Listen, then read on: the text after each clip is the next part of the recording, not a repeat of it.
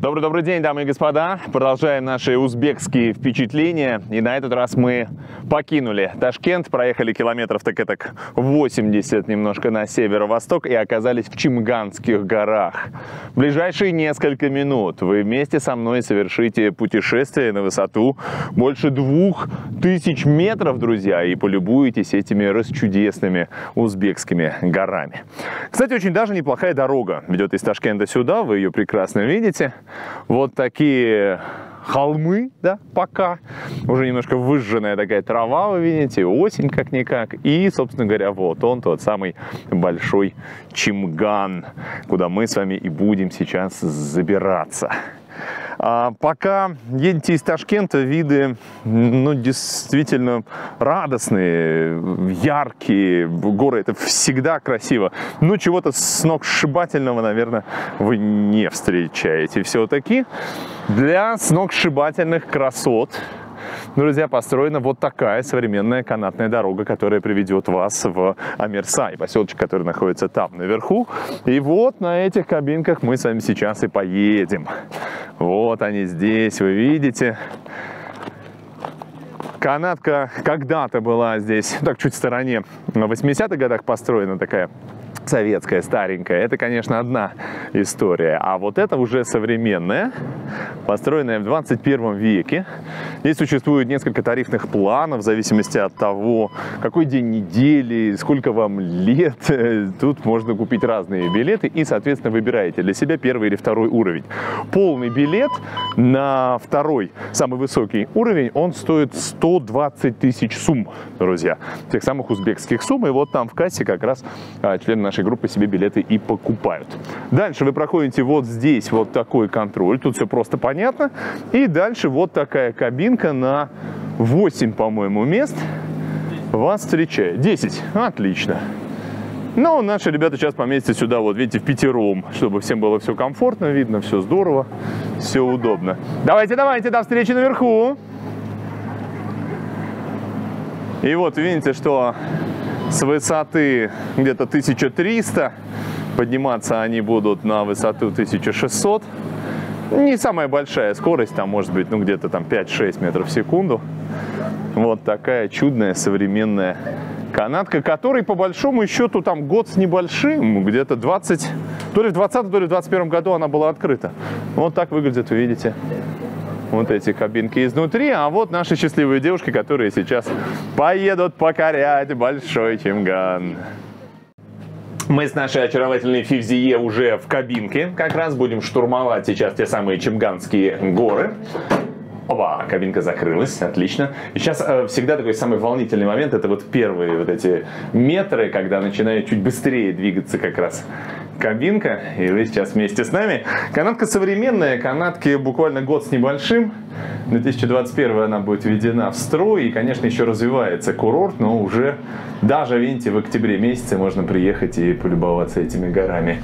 Здесь большой плюс э, э, именно этого устройства кабинки в том, что можно высунуть руку, друзья, и вы сейчас не сквозь немытое стекло все будете видеть, а вот так, смотрите.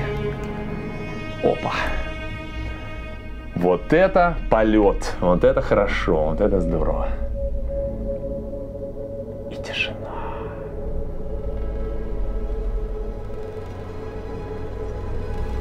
Вот здесь очень интересно, канатка сначала идет вниз, смотрите, а потом будет подниматься вот так вот наверх.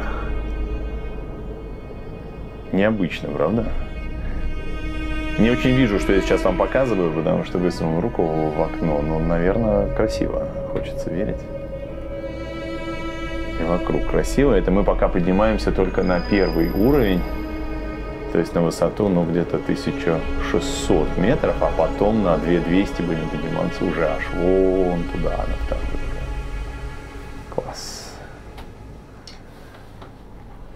Кабинка абсолютно звуконепроницаема. Вот это сейчас прямо видно и слышно. Мы в движении, но ничего не грохочет никак. Ух ты, какие тут-то склоны, божешки.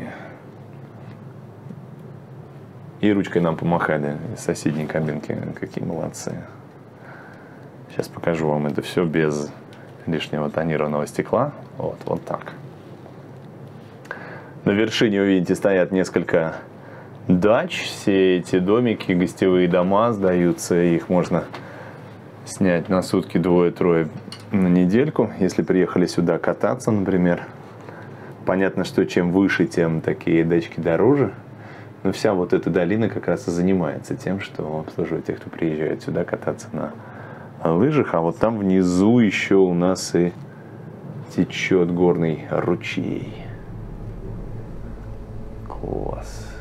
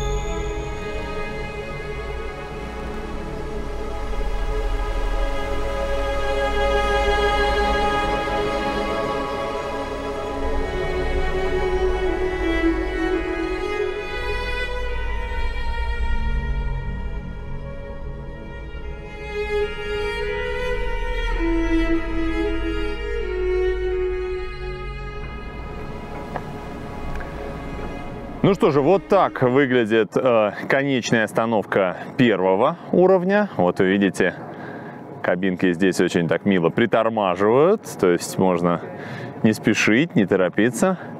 Вы выходите и оказываетесь на такой площадке, где, ну, конечно, поначалу полное ощущение такой стройки, потому что вы видите, что здесь пока еще не все готово, вот скажем так, мягко. Курорт очень быстро развивается, и поэтому здесь строятся и новые шале, новые гостиницы, где можно остановиться отдохнуть, и какие-то новые развлекательные дела. Вот тут можно, видите, в аренду взять, например, такие квадроциклы и на них погонять по горам. Там веревочный парк, здесь такие иглу с хранением всего необходимого снаряжения развиваются флаги, в том числе и швейцарские, видите. Ну да, вот такая узбекская, ташкентская Швейцария здесь, в Чемганских горах. И ресторанчик, который называется Сазанчик. Он так очень мило, да, в Узбекистане в том числе можно попробовать рыбу. Хватает в водохранилищах и в горных реках. Рыбешек очень даже здорово. Здесь ее жарят. Вот такой лыжник стильный, современный здесь вас встречает. И вот там нижняя остановка второго уровня, соответственно. Если мало ли вы поначалу купили билет только на первый уровень, то здесь тоже есть касса, и можно отсюда купить билетик еще и на самую вершину, 2200 там с копейками. Ну а потом, насмотревшись горами или в сезон, если то накатавшись на лыжах, то, конечно, отдохнуть в ресторане. Не самый дешевый такой имеется в виду.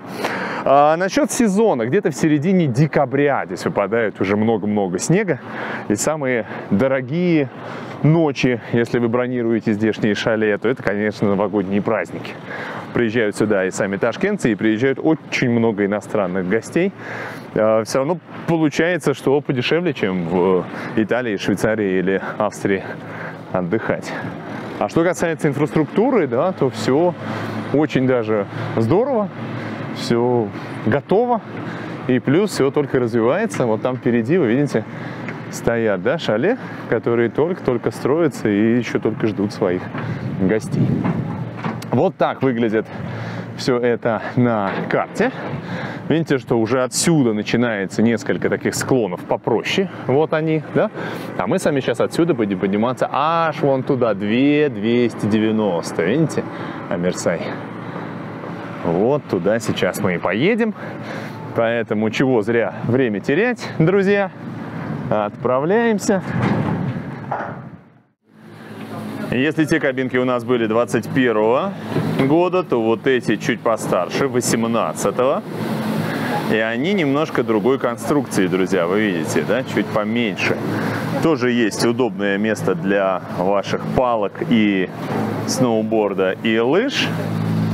И тоже они совершенно, видите, вот так не, э, не торопятся, когда находится на конечной станции. Вот это очень важно, например, для тех, кто в возрасте, то есть ничего не нужно здесь никуда бежать за этой э, кабинкой, запрыгивать на ходу и прочее, прочее. Нет, все аккуратно, все вот так, неторопливо, все удобно, с детьми можно удобно забраться.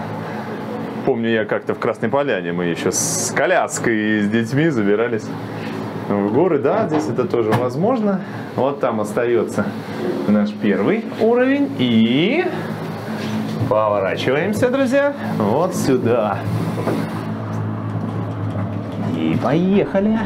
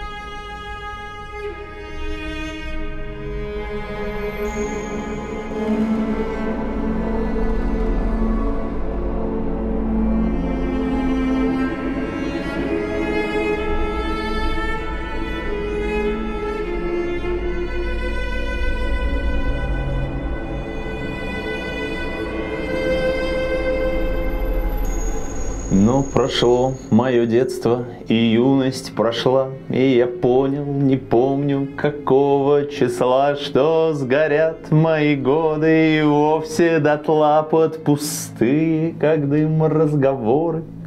И тогда я решил распроститься с Москвой И вдвоем со своей, еще не вдовой, В том краю провести свой досуг трудовой, Где сверкают Чемганские горы. Вот они, друзья, вот они сверкают, хоть и без снега пока в октябре месяце, но иногда, посмотрите, поблескивает таким вот изумрудным цветом. Здесь озера, очень хорошо смотрятся вот эти горы.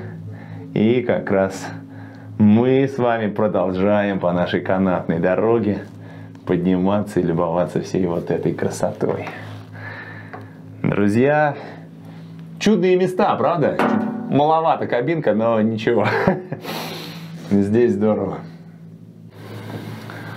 Где-то на полпути уже до верхней точки вас встречает вот такая промежуточная станция. Мало ли кто-то отсюда хочет спуститься, или кто-то сюда приехал сейчас, например, на великах, как ребята в соседней кабинке, видите? Горные такие велики взяли отсюда и стали подниматься еще повыше. Здесь это тоже возможно. Ну, можно выйти, понятно, отсюда, и дальше, если там обувь у вас трекинговая, то пойти вот этими пешеходными тропами. Мы выходить не будем, с вашего позволения, да? И поедем дальше.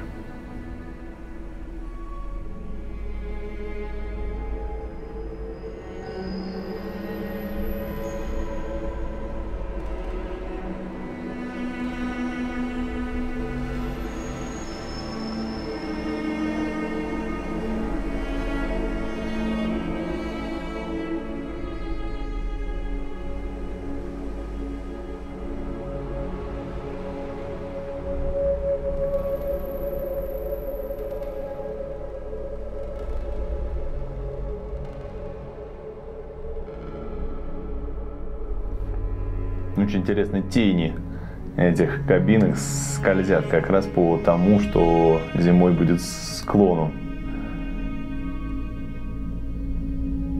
Класс, правда?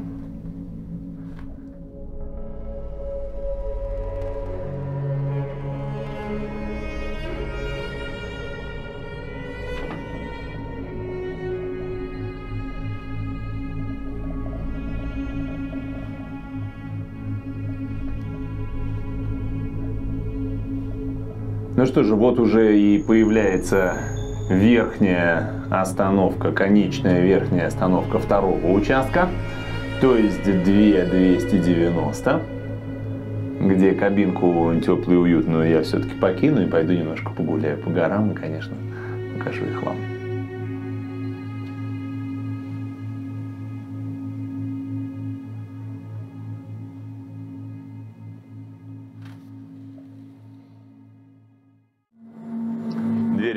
Открываются. И мы с вами наверху. Как совершенно по-другому здесь уже дышится. Абсолютно точно. Встречает вас здесь вот такая огромная блестящая капсула ресторана. Здесь же есть и фастфуд попроще. Ну и самое главное, виды. Виды ради которых мы с вами сюда как раз и забрались, друзья. В целом-то больше по постройкам тут все очень просто и понятно. Самое главное здесь не инфраструктура, а это ощущение полета, которое всегда присутствует в горах. Любуйтесь.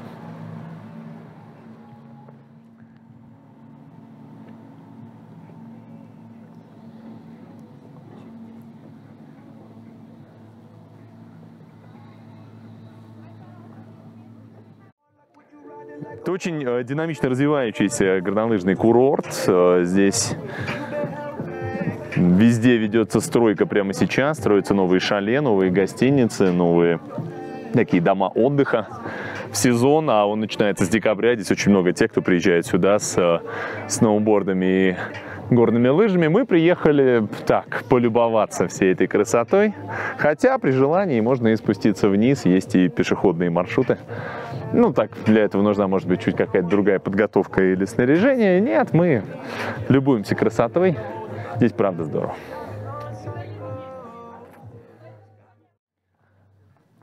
Склоны очень интересные.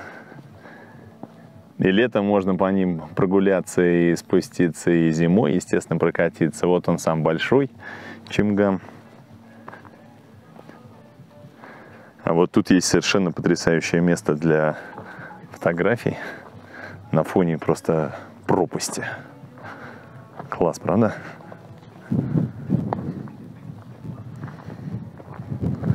Страшновато, но прекрасно.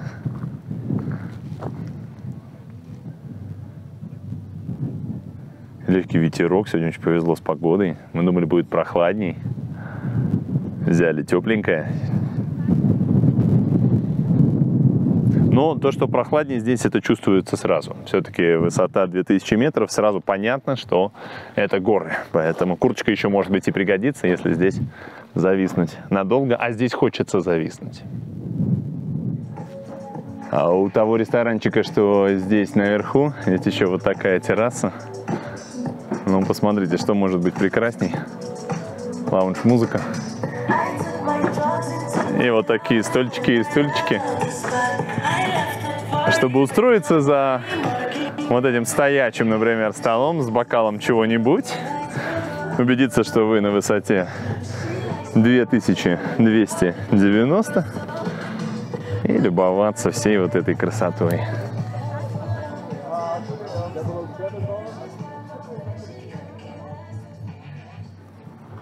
А как вам вот такое панно, друзья, посмотрите, эволюция Homo sapiens не очень понимаю, почему вот сноуборд он на втором месте, а горные лыжи на первом. Никто не подскажет? Ну, смотрите, как толково вообще сделан ресторан. Как здорово, правильно сделана смотровая площадка.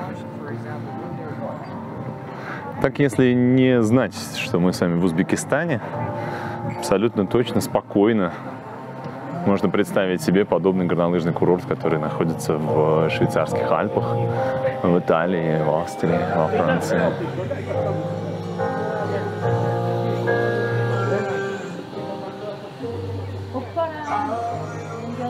Очень приятное место.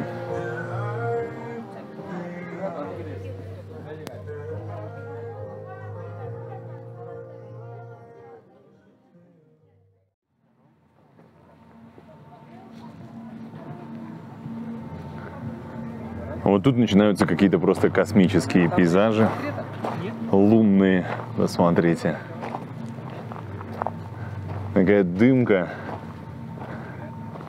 Горы, которые поближе, они из этой дымки очень так хорошо и ярко выделяются, а вот там просто до горизонта.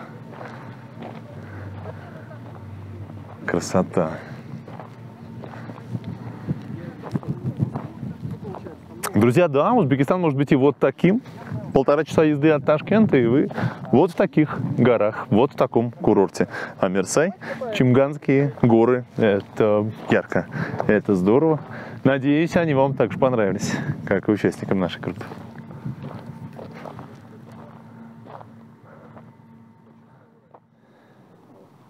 Ну что же, горы неплохо, как мы с вами знаем, сочетаются с морем, друзья, правда? Это правило не имеет исключений даже в той стране, где, казалось бы, моря нет.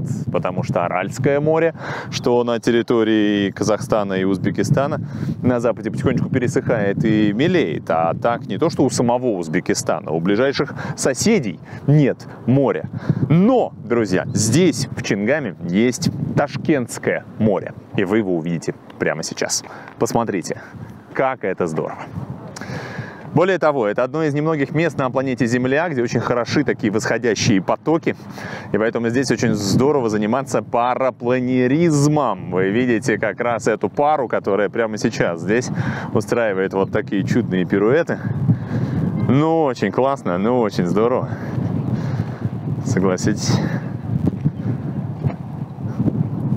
Если кто помнит, в нашей тур-регате «Другая Турция» были мы в Алюденизе и тоже говорили там про гору Бабадак, как сейчас помню, с которой вот такие вот смельчаки летают. А тут, видите, они вообще не падают, то есть их оттуда потоками воздушными вот так поддерживает, что они только туда-сюда без двигателя вообще абсолютно бесшумно, видите, летают и нас радуют в том числе. Ну и, собственно говоря, то самое Ташкентское море, друзья, да, давайте любоваться, давайте разбираться. Виды, конечно, расчудесные и не случайно, да, то есть самой узбекской Швейцарии как раз называют эти края. Ташкентское море – это вообще-то Чарвакское водохранилище, друзья. То есть на свет появилось э, водохранилище это искусственным образом в 70-м году, когда после вот того страшного землетрясения в Ташкенте в 66-м нужно было много дешевой электроэнергии для того, чтобы восстанавливать город, его, можно сказать, заново строить. И поэтому исследовали все окрестности столицы, и оказалось, что вот меньше 100 километров до Ташкента здесь, в этой долине речки Чертик, можно было перекрыть реку плотиной. Плотина вот там впереди хорошо видна. Ну и, соответственно, понятно, воду эту использовать для гидроэлектростанции. Это и было сделано. Плотина у нас свет появится в 70-м году.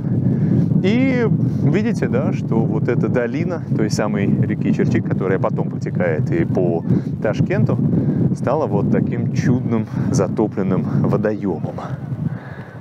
Ох, как они классно летают все-таки, ну не оторваться от них просто, да? Ну здорово же. По долине этой в свое время проходил один из важных торговых путей. Поэтому перед тем, как затопить долину. Были проведены серьезные исследовательские работы археологами, историками, были найдены стоянки людей.